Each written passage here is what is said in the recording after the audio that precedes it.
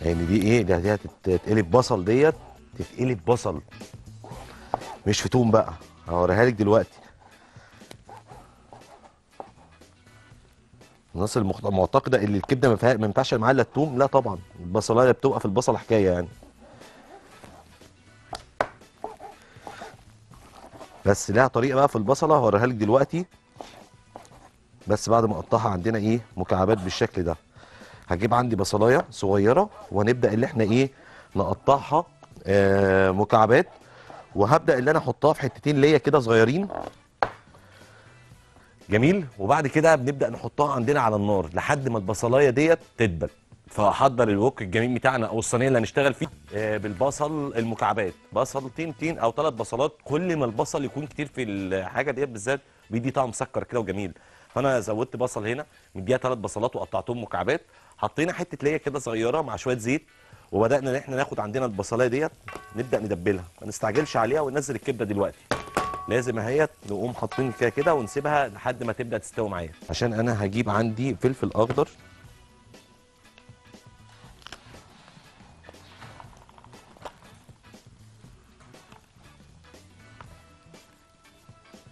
فلفل أخضر رومي.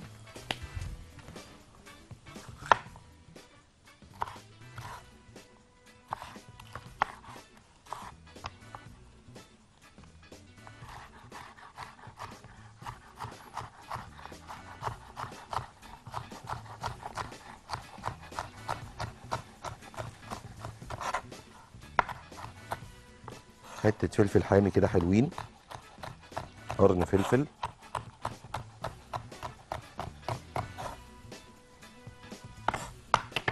تبقى كده إيه جاهزة معايا. بص هنا تاني على البصل. خلاص بدأ يدبل معايا اهوت. كل ما يدبل كل ما يديني طعم أفضل وأفضل للكبدة بتاعتنا اللي إحنا بنشتغل بيها.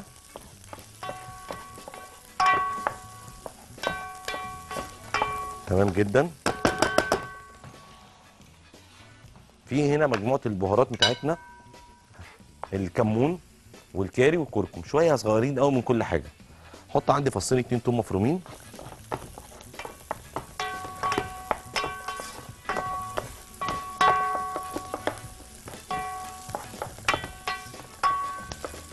وأعمل إيه بقى؟ بقوم واخد عندي الباشا دي كده البصلاية. بعد ما تخش عندنا وتدبل معايا هي النار بس كنت محتاجه تبقى أعلى من كده.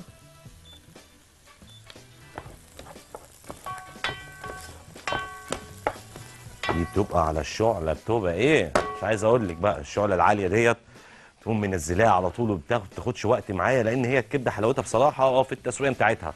ما بتاخدش وقت. كلمي في, في خمس دقايق بتكوني مخلصة الأكلة يعني.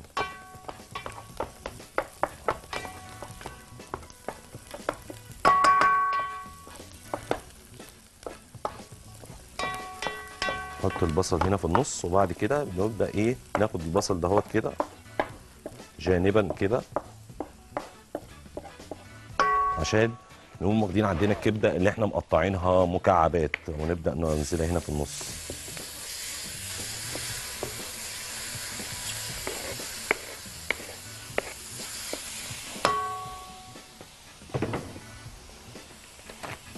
بعد كده بنبدأ نقلب كله مع بعضه. البصل بس الكبدة بس تسيبيها إيه تتشمع كده الأول عشان ما تتهريش منك.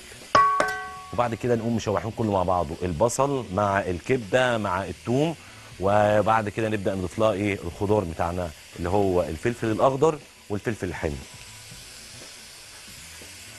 إيه؟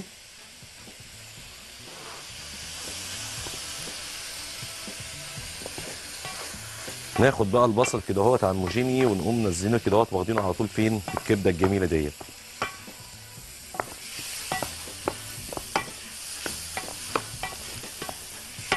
جميلة جميلة جميلة. جميلة كده وريحتها هتجنن مع البصلاية كده بعد ما دبلت نبدأ نحطها بالشكل ده. نقوم واخدين عندنا فلفل الحامي الفلفل الأخضر نقوم ضايفينه هنا.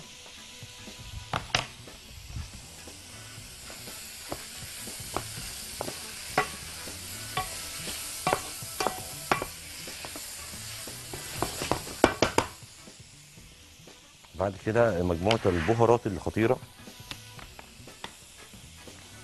ما تكتريش ها؟ شوية صغيرين كده من كل حاجة. كينج البهارات الكمون. شوية كاري صغيرين جدا وشوية كركم صغيرين قوي أهو. بس.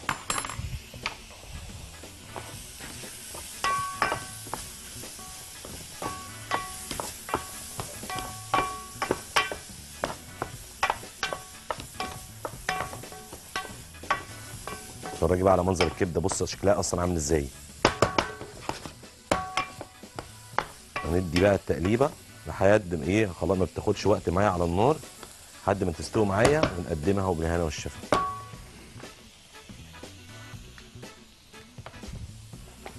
عصير الليمون دي في الآخر خالص. اخر حاجة خالص بضيف لها عصير الليمون مش دلوقتي عشان ما تمررش مني.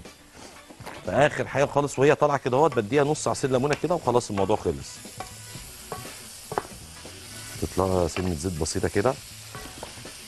وهي بتسخن كده بتقوم مديها سنة الزيت فبتقوم مديها اللمعة والجمال ده. شوية عيش بلدي وناكلها وبالهنا والشفا. ريحة حلوة قوي. أنا بس عشان الصينية إيه موحوحة. تعالوا بقى نشوف عندنا نجيب الكبدة نحطها هنا. بسم الله الرحمن الرحيم.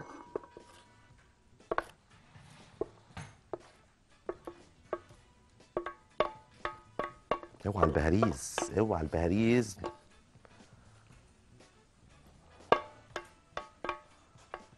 شكرا. شوية العيش البلدي الحلوين وبألف هنا وشفا.